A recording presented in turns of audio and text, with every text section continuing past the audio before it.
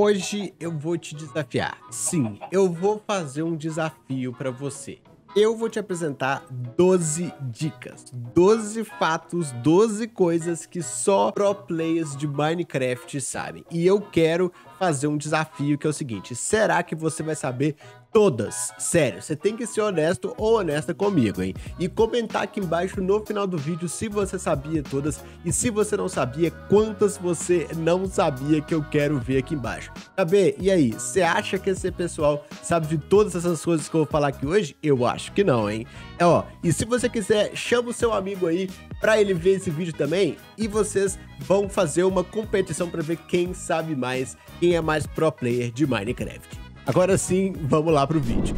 Se você gosta de brincar com seus amigos com Redstone, é pra você. Por exemplo, você pode chegar na casa do seu amigo aqui, olha só que coisa bonita, esse centro de apoio aqui, construído completamente no survival, por mais que a gente esteja no criativo. E você vai estar tá aqui com seus amigos, de repente você vai colocar um bloco de dinamite no chão e já vai dar aquela tensão no ambiente. A galera vai começar a ficar preocupada, vai querer bater em você, vai querer te matar, te espancar, quebrar o bloco, e de repente tudo vai piorar se você colocar uma tocha de redstone do lado. Só que, se você colocar uma bigorna em cima e uma tocha aqui do lado... Peraí, peraí, peraí, peraí. Opa, não conseguimos, não conseguimos. Agora vai. Olha só o que vai acontecer.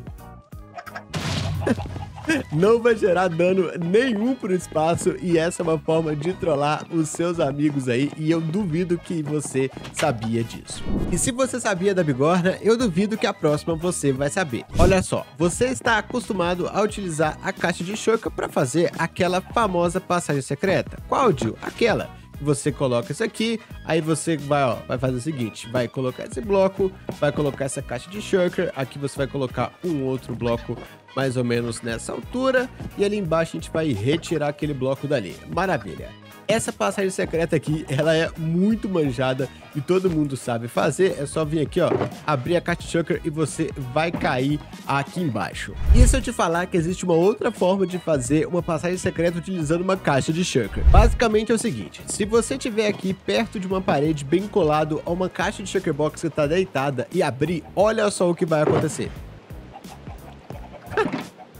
Você vai conseguir atravessar a parede e vai conseguir entrar em um lugar completamente secreto. Essa é uma ótima forma de você esconder, de você fazer aí uma sala de tesouros e totalmente escondida dos seus amigos. E é claro, né? Para sair você pode utilizar da mesma lógica. E beleza, vou chegar bem pertinho, abrir e pronto, tá aí. Você quer ajudar o canal e ainda ganhar um real?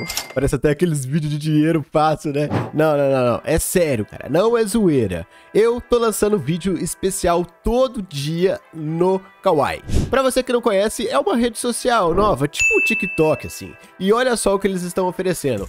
Um real para cada inscrito que usar o código aqui embaixo, cara. Olha só que doideira. É fácil, é só baixar o aplicativo, o link tá aqui na descrição. Você vai criar sua conta, vai apertar a moedinha e seguir esse passo a passo aí que vocês estão vendo, ó. Vai colocar o código que está aqui na descrição desse vídeo e você vai ganhar um real e o Jill vai ganhar 12 reais. Mas não de você da Kawaii. Cara, parece até aquele negócio de pirâmide, mas não é. É um programa que a Kawaii tá fazendo porque ela acabou de chegar no mercado e quer trazer as pessoas pra plataforma. E se você quiser ganhar também, tem jeito, cara. É só você enviar o seu código de convite para os seus amigos e pedir para eles entrarem. É fácil, é rápido, ajuda o canal e é isso. Bora pro vídeo. Sabe aquela construção que você faz? Você tem um maior orgulho porque ela saiu muito massa e você quer compartilhar ela com seus amigos? E você sabe que o ângulo da foto diz muito sobre a nossa construção.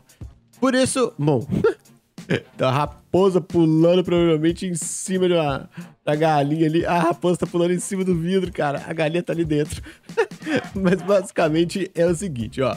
Pensa comigo. Se você tirar essa foto assim, ela vai ficar bonita. Vamos, vamos tirar a foto aqui, ó. Beleza, tiramos a foto. Agora, e se você tivesse uma forma melhor de tirar uma foto?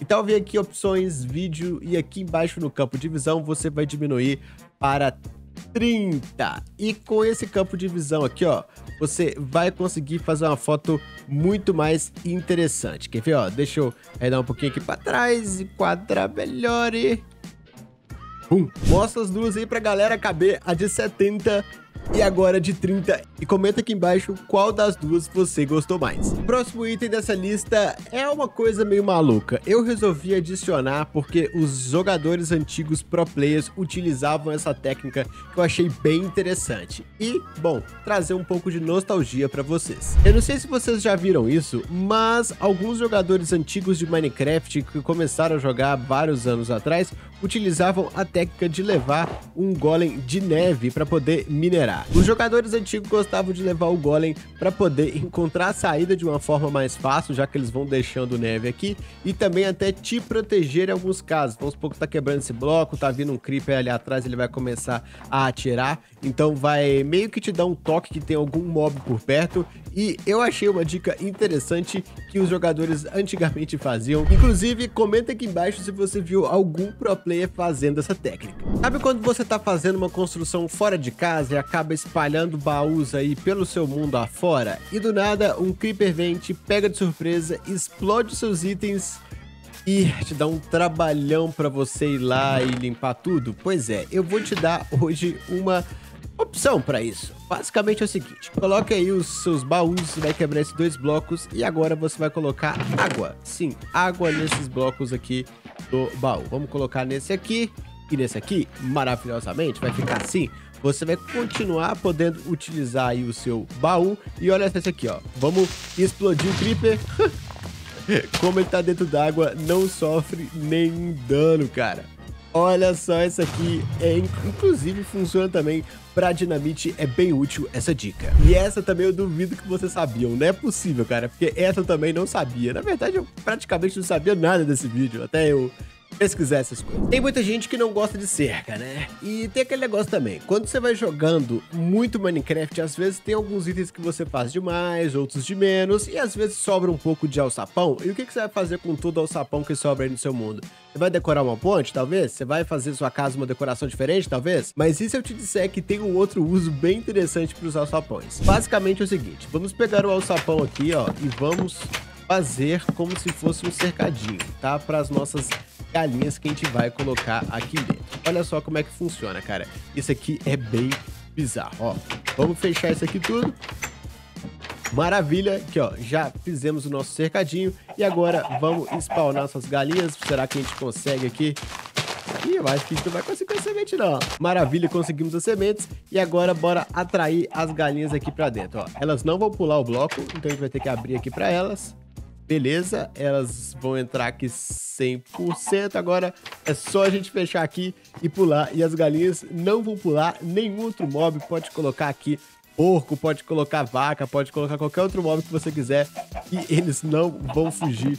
Porque eles não veem esse bloco, né? Como um, um bloco realmente. Eles vão tentar passar dentro dele. Não vai dar certo e vão ficar presos ali dentro. Ah!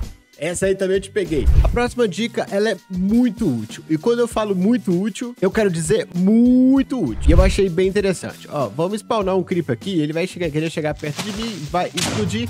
E olha só isso aqui. Colocando um bloco na frente da explosão, cara, ele vai retirar muito menos dano. Ó, vou deixar ele explodir aqui. Morri, tá vendo? Mas eu coloquei o bloco ali na frente dele naquele outro momento e eu tomei meio coraçãozinho de dano, cara. E essa é uma técnica muito boa que você pode utilizar. No caso do Creeper, ele só não explodiu aqui o, o mundo porque eu tirei essa opção lá nas minhas configurações. Mas isso com certeza pode ser uma arma bem interessante para você, ó.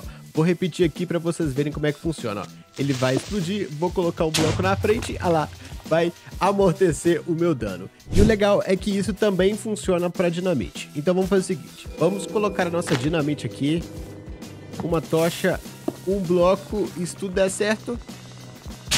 Olha só, cara, vai quebrar muita coisa, mas vai dar pouquíssimo dano. Mais uma dica de pro player para vocês. Às vezes você vai ao Nether e não tem nenhum item de ouro e por isso os piglins eles vão encher a sua paciência tentando te matar. Nós estamos aqui com um item de ouro.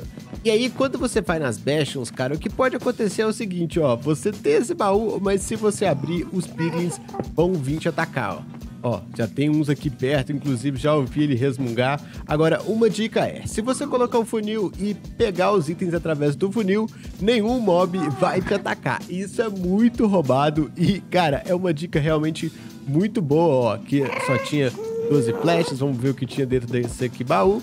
E não vai te dar nenhuma complicação, nenhuma dor de cabeça, vai conseguir pegar os itens todos rapidamente, sem nenhum problema. E já que a gente tá aqui no Nether, eu vou falar uma das dicas mais importantes é o seguinte. Quando você tiver uma esponja molhada, não fica gastando combustível à toa em fornalha não.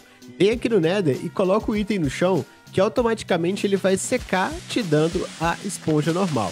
Então é só colocar o item aqui no chão e é lógico utilizar a enxada para você quebrar ele o mais rápido possível. Tá? A enxada é o melhor item para quebrar a esponja no Minecraft. Ai meu Deus! Tô sendo atacado! Sabe quando você tem que transportar muita água? Só que se você levar em formato de balde, você não vai conseguir transportar tudo de uma vez e gelo não é um recurso que você tem na hora. Hoje eu vou te ensinar a como levar um balde de água só e todos os outros slots de balde e você criar uma fonte infinita utilizando um balde de água e duas algas. Bom, você vai fazer o seguinte, você vai procurar qualquer lugar aí, vou fazer bem aqui na frente, inclusive vou fazer no Survival para poder mostrar para você que isso realmente funciona. Então aqui ó, tá no Survival, vou quebrar esses quatro blocos aqui, e agora eu vou colocar a madeira aqui em cima. Pode ser qualquer bloco. Vou colocar água. Nesse lado eu vou colocar uma água, uma alga. E no outro eu vou colocar uma alga. Agora eu posso retirar isso aqui e... Tcharam! Já tem nossa fonte infinita de água maravilhosa aqui, ó. Então, essa é a melhor forma de você transportar água no Minecraft. É lógico, né? Depois do gelo. Você tá com dificuldade que o aldeão te siga? A gente sabe que mexer no Minecraft Bedrock com aldeão é uma dor de cabeça. E no Minecraft Java também não é muito diferente, apesar que no Minecraft Bedrock é mais bugado. Mas olha só essa dica interessante para vocês. Toda vez que você começa a troca com um aldeão, ele vai começar a olhar para você e com isso fica muito mais fácil dele ficar quieto, parado, para você empurrar ele para um lugar que você quer. Então, se ele ameaçar andar, você aperta para poder interagir, para poder trocar com ele e vai trocando e assim fica bem melhor. Não precisa nem de trocar, na verdade. Só abrir o inventário dele aqui, ó, que ele vai ficar quietinho olhando para você. Vai ficar muito mais fácil de você empurrar os seus aldeões sem ele sair correndo, cara. Cara, esse aqui é a mão na roda. Pronto, coloquei ele pra dentro. E a última dica e mais engraçada é o seguinte. Se o seu porco fugir, você pode colocar fogo nele, ele vai procurar a fonte de água mais próxima da sua, no caso do bloco, né? No Minecraft Java, isso aqui funciona bem melhor do que no Minecraft Bedrock, que os porcos são mais burrinhos. Mas então quer dizer que é o seguinte, se você fizer um buraco no meio aí da sua, do seu cercadinho e você colocar fogo em um porquinho, ele vai correr no Minecraft Java mais para perto aí da de onde tem água para ele parar de pegar fogo. Cara, por que, que o porco no Minecraft Bedrock é mais burro? Não faz sentido, cara. Eles tinham que procurar água sempre. Mas tá bom. Ó, pelo menos essa dica só funciona no Java, então vou dar um desconto, hein? Se você não souber ela, vou dar um desconto. Comenta aqui embaixo quantas dessas dicas de pro players você não sabia, porque eu realmente estou muito curioso. E é isso, pessoal. Espero que vocês tenham gostado aqui desse vídeo. Comente aqui embaixo dicas exclusivas que só você sabe para mostrar se você é um pro player mesmo. Quem sabe você não aparece aqui de quebra num vídeo do canal. Um beijo, se cuida. Lembrando que para você ter um direto a mil é só com o vídeo do Dil às 9 e às 18 da noite também. Nesse mês de junho eu te vejo no próximo vídeo. Um grande abraço e tchau!